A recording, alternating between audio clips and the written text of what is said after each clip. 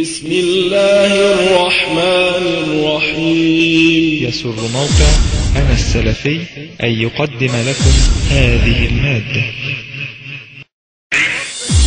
حصريا على موقع أنا هدانا دهر السلام ربنا سدد خطانا وامنح القلب الوئام وارض عنا يا إلهي.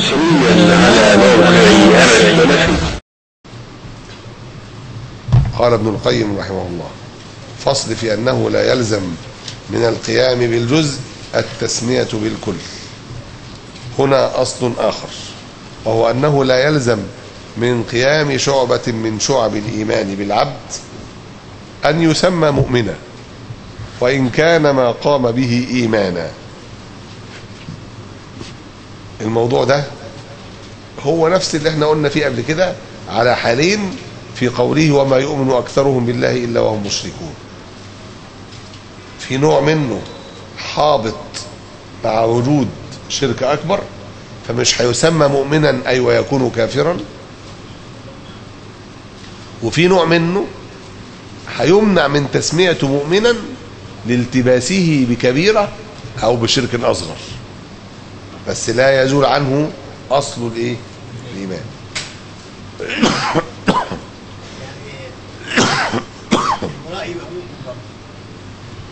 المرائي إذا كان بيرائي بلا إله إلا الله ما يبقاش مؤمن والمرائي اللي بيرائي بالصلاة ليس بمؤمن ولكن لا يلزم أن يكون كافرا.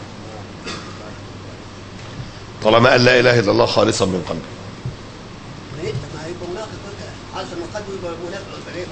قال لا إله إلا الله خالصا من قلبه. وفي الصلاة قام يصلي عشان اتحرج ينفع يعني الاثنين ينفع الاثنين مع بعض هو ده مش ممكن يحصل. بيقول لا إله إلا الله من قلبه فعلا من الناس اللي في الشارع دي وبيصليش. أيوه ما يصليش. ما بيصليش. ماشي؟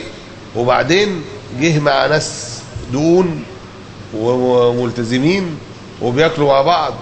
قالوا له ما تقوم تصلي. قال حاضر. قام صلى. هو في نيته ما قامش إلا إيه؟ إلا رياء للناس دول. احراجا منهم. لكن هو في لا إله إلا الله بيقولها إيه؟ خالصا من قلبه. عايز لا إله إلا الله عشان هو مسلم. بس هو مكسر عن الصلاه وما قامش يصلي المرة دي إلا لما هم زنقوه. تمشي ولا تمشيش؟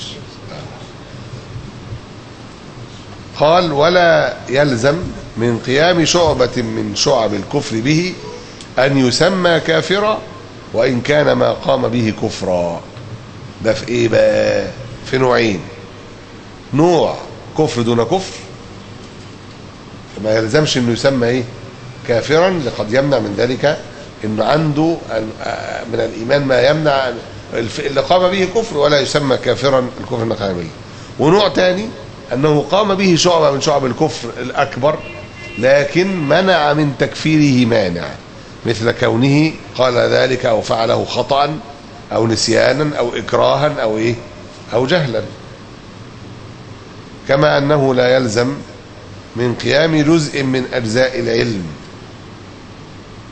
به بالشخص يعني أن يسمى عالما. ولا من معرفة بعض مسائل الفقه والطب أن يسمى فقيها ولا طبيبا. ولا يمنع ذلك أن تسمى شعبة الإيمان إيمانا وشعبة النفاق نفاقا وشعبة الكفر كفرا.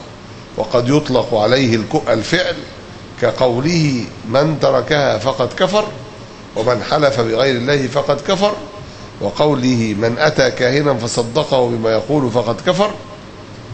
كلها حديث صحيحة فمن صدر منه خلة من خلال الكفر فلا يستحق اسم كافر على الإطلاق. وكذا على الإطلاق يعني إيه؟ يعني مش في كل الحالات. زي ما قلنا في حالة بيبقى إمتى يبقى يبقى إذا كفر أكبر واستوفى الشروط والموانع يبقى هنسميه إيه؟ كافر. إذا كان كفر أصغر أو إم- آه، لم يستوفي شروط المانع يبقى الفعلة كفر ولا يلزم أن يكون إيه؟ الرجل كافرا أو الشخص كافرا. وكذا يقال لمن ارتكب لمن ارتكب محرما. إنه فعل فسوقا وإن فسق بذلك وإنه فسق بذلك المحرم ولا يلزمه اسم فاسق إلا بغلبة ذلك عليه. وهكذا الزاني والسارق والشارب والمنتهب لا يسمى مؤمنا وإن كان معه إيمان كما أنه لا يسمى كافرا. دي مش منزلة من منزلتين لا ده هو مؤمن ناقص الإيمان.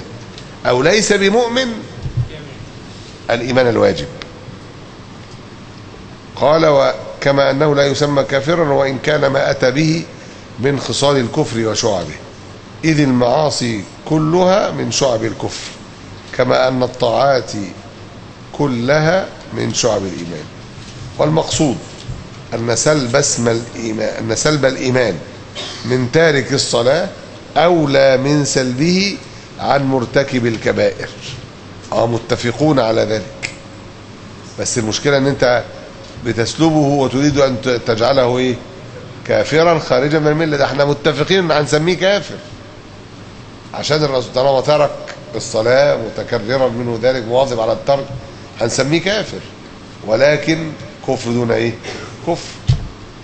كأن ابن القيم في الحقيقة رايح جاي في المسألة متردد فيه. قال وسلب اسم الإسلام عنه أولى من سلبه عمن لم يسلم المسلمون من لسانه ويده. مفهوم المخالفة بتاع المسلم من سلم المسلمون من لسانه ويده. إن من لم يسلم المسلمون من لسانه ويده ليس إيه؟ ليس بمسلم. بس في الحقيقة لازم أوضح ليس بمسلم الإسلام الواجب عليه. الإسلام الحقيقي الإسلام حقا. إن ربنا قال أولئك هم المؤمنون إيه؟ حقا. ففي حاجة اسمها الإيمان حقا وفي الإسلام حقا أيضا. وإلا فليس بمسلم لو أطلقتها يبقى إيه؟ الإطلاق الاستعمال الأغلب بتاعه إيه؟ كافر. عشان كده بيقول لابد أن يقيد في هذه الحالة بالإسلام الكامل فيكون المعنى المسلم كامل الإسلام. من سلم المسلمون من لسانه ويده كامل الإسلام استعملت لأن الإسلام يكمل ويزيد وينقص. لأنه إذا كان الإيمان وهو باطن وظاهر فيه زيادة ونقصان فالظاهر فيه زيادة ونقصان. قال فلا يسمى تارك الصلاة مسلما ولا مؤمنا وإن كان معه شعبة من شعب الإسلام والإيمان. نحن نقول إن معه أعظم الشعب لا إله إلا الله فهو يسمى مسلما لكن إسلامه ناقص ومدخول وعلى خطر. يقول بعد كده نعم يبقى أن يقال فهل ينفعه ما معه من الإيمان في عدم الخلود في النار؟ هو ده موطن النزاع. يقال ينفعه إن لم يكن المتروك شرطا في صحة الباقي واعتباره. وإن كان المتروك شرطا في اعتبار الباقي لم ينفعه. ولهذا لم ينفع الإيمان بالله ووحدانيته وأنه لا إله إلا هو من أنكر رسالة محمد صلى الله عليه وسلم. هو في الحقيقة اللي أنكر رسالة محمد صلى الله عليه وسلم ليس معه إيه؟ توحيد. ولا إيمان بالله. لأن من الإيمان بالله تصديق الله. صح. وإلا فمن كذب الله قد قال عز وجل محمد رسول الله. اللي كذب ربنا يبقى يبقى مؤمن بربنا؟ يبقى موحد. اللي أطاع الشيطان في الكفر بمحمد صلى الله عليه وسلم يبقى إيه؟ عبد للشيطان. يبقى عبد الشيطان يبقى عبد الطاغوت. يقول ولا تنفع الصلاة من صلاها عمدا بغير وضوء فشعب الإيمان قد يتعلق بعضها ببعض تعلق المشروط بشرطه وقد لا يكون كذلك. المتفق عليه في الجزء ده إيه هو؟ المتفق عليه في هل ينفعه ما معه من الإيمان. آه نقول إن, إن يعني في عدم الخلود في النار ينفعه إن لم يكن متروك شرطا في صحة الباقي. إيه الشرط في صحة كل شيء من الأعمال بالاتفاق. لا إله إلا الله. محمد رسول الله. مش كده؟ ولا إله إلا الله شرط باتفاق. إذا, إذا, إذا لم يأتي بها لم ينفعه إيه؟ عمل. ولقد أوحي إليك والذين من قبلك لئن أشركت ليحبطن عملك ولا تكون من الخاسرين. فيبقى النظر في الصلاة. هل هي شرط لصحة الإيمان؟ هذا سر المسألة. يقول الأدلة التي ذكرناها وغيرها تدل على أنه لا يقبل من العبد شيء من أعماله إلا بفعل الصلاة. صح. من ترك صلاة العصر فقد حبط عمله فاللي الخمس صلوات يبقى إيه؟ عمله. عمل. الكلام هنا على حبوط إيه؟ لا إله إلا الله. أما الأعمال فنتفق على ذلك. يعني صام رمضان وما تصليش آه صام رمضان وما بيصليش ملوش ثواب. متمسك كمان يعني. وملوش ثواب. وصومه آه لا يقبل. ولكن هل يؤمر بالقضاء؟ لا. ماشي كده؟ متمسك برمضان قوي يعني. ماشي.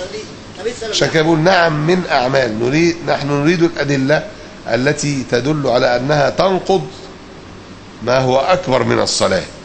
إيه اللي أكبر من الصلاة؟ شهادة أن لا إله إلا الله. والأدلة الصحيحة حقا.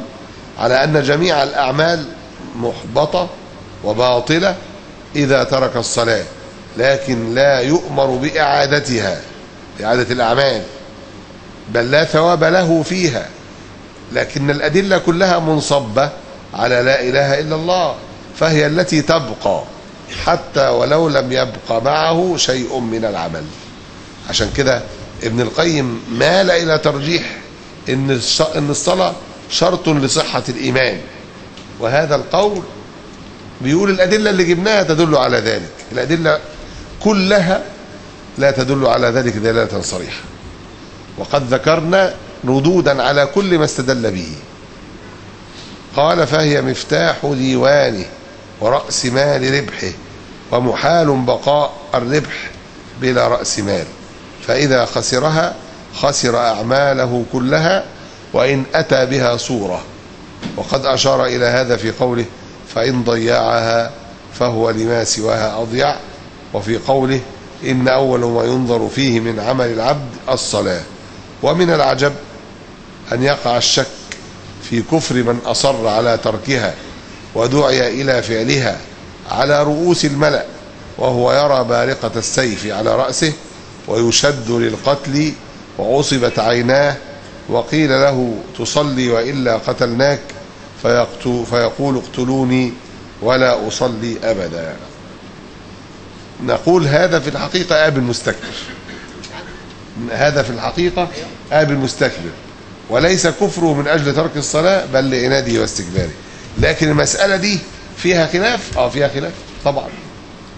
ثم إن هذا خلاف الشافعية والمالكية وطائفة كبيرة من الحنابلة. اللي هو يتقتل يتقتل حدا لا ردة إحنا بنرجح إن اللي هيقول اقتلوني ومش مصلي يبقى آبي ومعاند ومستكبر. ده الراجح. لكن المسألة فيها خلاف؟ آه فيها خلاف. لكن الحقيقة إن الترك المجرد ليس فيه ذلك.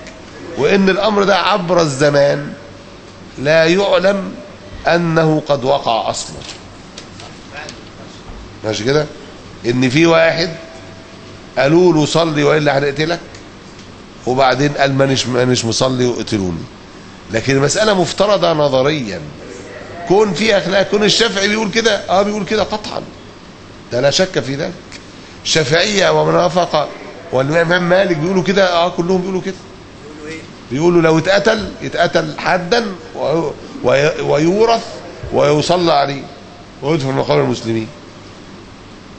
وابن القيم اللي قال الكلام ده وانتوا نسيتوا ما انت بتبص لي كده ليه؟ انت مستغرب إحنا مش قالنا مع بعض الكلام ده. مين اللي قال بيه؟ مين اللي قايله؟ طيب ماشي. الكلام ده اللي قالوه الأئمة ابن القيم نفسه ابن تيمية نفسه اللي قايله في في شرح العمده كلهم قايلين الكلام ده. طيب. طيب ماشي. يقول ومن لا يكفر تارك الصلاة يقول هذا مؤمن مسلم يغسل ويصلى عليه ويدفن في مقابر المسلمين. بنقول إن هذا قول من قول أئمة أهل السنة وهو ابن القيم اللي ذكره قبل ذلك. ف ها؟ وروايه لا اللي بيقول يسموه مسلم رواية عن الإمام أحمد. آه. وبعضهم يقول إنه مؤمن كامل الإيمان. إيمانه كإيمان جبريل وميكائيل. صراحة يعني بنقول من غير المناسب أن يذكر القولان مع بعضهما. الأول اللي بيقول ده مؤمن مسلم يغسل ويصلى عليه قول مالك والشافعي وروي عن أحمد. والثاني قول المرجئة. ما تجمعليش الاثنين مع بعض. خطأ من قائله ان ان أن يسوي عشان تنفر من القول ده تقوم تحط عليه القول الثاني لا لا الكلام ده غلط. قال فلا يستحيا من هذا من هذا قوله من إنكاره تكفير من شهد بكفره الكتاب والسنة واتفاق الصحابة والله الموفق قلنا كذا مرة إن اتفاق الصحابة على الإيه؟ على التسمية. ثم إن تارك الصلاة مش كلهم من اللي بيعرضوا على الإيه؟ على, على السيف. بل عايز أقول إنه لم يعرف من قتل على ترك الصلاة وأصر على ذلك حتى نقول إن كل تاريخ الصلاة بهذه الطريقة. بل المذهب عند الحنابلة كما ذكرنا هو إيه؟ إنه لا يكفر إلا في الحالة التي يجب قتله فيها وهو أن يدعوه إلى الإمام إلى الصلاة فيأبى. فمعلش الخلط بين القولين خطأ. الخلط بين الحالين خطأ. إن واحد سايب الصلاة عشان ما حدش قال له صلي وبين واحد عرض على الإيه؟ على السيف. مع إن اللي عرض على السيف في قولين للعلماء ولأهل السنة آه وليس إن ده قول مرجئة. ده كلام غلط. لو قالوا ابن القيم يبقى هو اللي غلطان. لأن ما حدش يتهم مالك والشافعي ابدا بالإرجاء. ولو قالوا ابن تيمية يبقى ابن تيمية اللي غلطان. لأن لن يكون هو عند أهل السنة عموما بمنزلة مالك والشافعي. فضلا عن الرواية الأخرى عن أحمد اللي, اللي ابن بطة بيقول هي المذهب أنه يقتل إيه؟ حدا لا ردة. فلما يجي وهو اللي ناقلها فما ينفعش يتقال ده قول مرجئة لا لا قطعا. تهمة هذا القول يعني عدم الاعتراف بالخلاف في هذه المسألة اولا بنقول لا هم بيثبتوا الخلاف فيها إن هو أكثر لكن عدم الاعتراف بالخلاف السائر في هذه المساله بدعة. ودي المشكلة الأساسية اللي بيننا وبين كثير من السروريين اللي بي اللي بيجعلوا هذه المسألة مسألة تبديع. يبدع المخالف. أقول له لا أقبل منك ابدا أن تبدع مالكا والشافعي وأحمد في رواية بل ولا تبدع أبي حنيفة في هذه المسألة ولا في غيرها أيضا. لأن ابن أبو حنيفة لم يثبت عليه بدعة ضلالة مع إمامته في الدين. ف أبعد وأبعد من يقول اللي يخالف يبقى كافر. اللي ما يكفرش ترك الصلاة يبقى كافر. دول بقى دول أهل بدع ضلاله بأبعد ما يكون فصل في سياق أقوال العلماء والتابعين وبعدهم في كفر تارك الصلاة ومن حكى الإجماع على ذلك. أو ده إنصاف من القيم يقول من حكى الإيه؟ الإجماع. لأن هو في الحقيقة الإجماع على التسمية وليس الإجماع على إيه على الحقيقة. قال محمد بن نصر بسنده عن أيوب قال ترك الصلاة كفر لا يختلف فيه. وحكى محمد بن نصر عن ابن المبارك قال من أخر صلاة حتى يفوت وقتها متعمدا من غير عذر فقد كفر. قال عبد الله بن مبارك من قال إني لا أصلي المكتوبة اليوم فهو أكفر من حمار. وصراحه الحمار مش كافر قال يحيى بن معين بس هو عايز يشتمه يعني. قال يحيى بن معين قيل لعبد الله بن المبارك إن هؤلاء يقولون من لم يصم ولم يصلي بعد أن يقر به فهو مؤمن مستكمل الإيمان. فقال عبد الله لا نقول نحن ما يقول هؤلاء. من ترك الصلاة متعمدا من غير علة حتى أدخل وقتا في وقت فهو كافر. كلام صحيح وحسن الإجماع على التسمية لكن الخلاف في إيه؟ الحقيقة. هل هو كافر كفرا على الملة ولا كافر كفرا إيه؟ دون كفر؟ نعم؟ ويسمى كافر أيضا.